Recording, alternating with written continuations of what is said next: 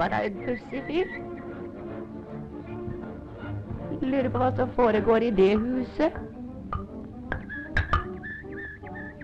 Aha, en fabrikk, altså.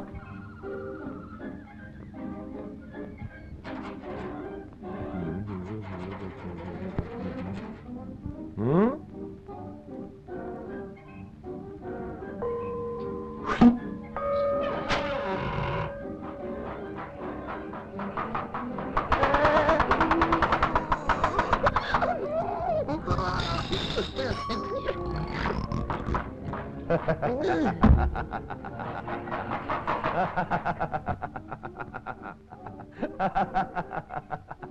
Litt overraskende, hva?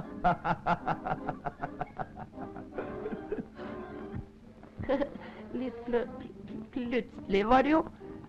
Eh, Men nokså lettvint.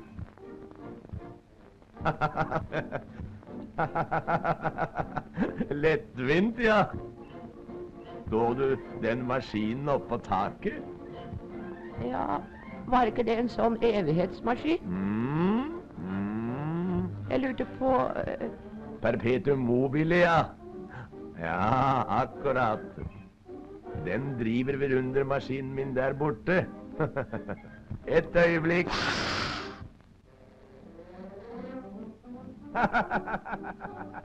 Nei, se her. Her. Her borte, ja.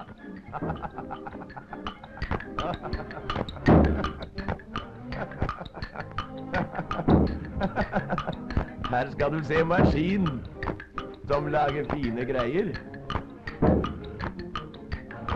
Åh.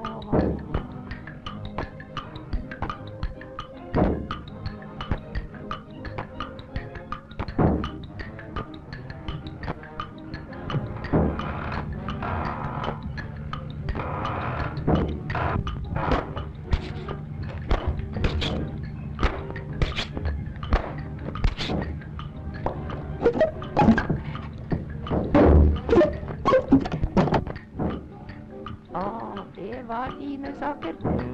Hva laver du med den, da?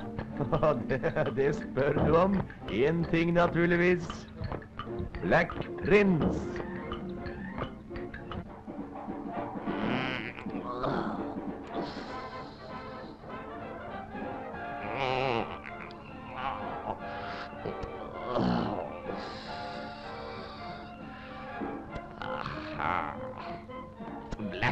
Prince, naturligvis.